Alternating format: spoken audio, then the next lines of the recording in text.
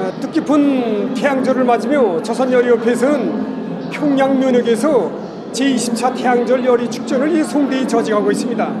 이번 축전에는 50여 개 단체와 900여 명의 우수한 선수들이 이제 참가를 했습니다. 축전에서는 예, 명절 열이 전시, 지정 열이 전시, 과학기술 성과 자료 전시, 그리고 요리사 접대원들이 기술 경연과 시범 실현도 이제 이채롭게 보여주게 될 것입니다. 이번 축전을 통해서 축전 참가자들은 사회주의 문명국의 채모에 맞는 음식 문화 수준을 온 세상에 보여주게 될 것이며 뜻깊은 태양절을 맞는 우리 민들에게 커다란 기쁨을 주게 되리라고 이제 생각합니다.